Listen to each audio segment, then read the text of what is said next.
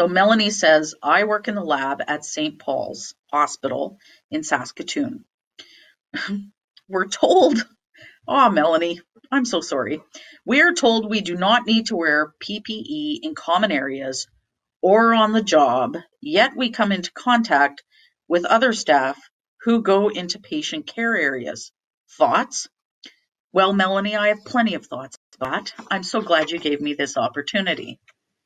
Here's the deal. Um, the uh, continuous masking policy um, is directed at folks in common areas.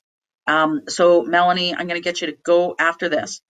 Go to the SEIU West webpage and go to the frequently asked questions around PPE, and you will be able to see the um, SHA's direction on um, continuous masking for your particular area.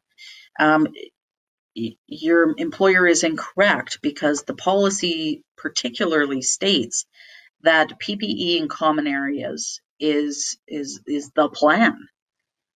Um, so yeah, it's I, I get that employers managers, you know, this is a very fluid situation and, you know, the ground is shifting underneath all of us. However, um, you know, if I screw up, I'm held responsible. If managers screw up, they need to be, they need to say, sorry, I was wrong and be held responsible and move on and follow the rules just like you and me.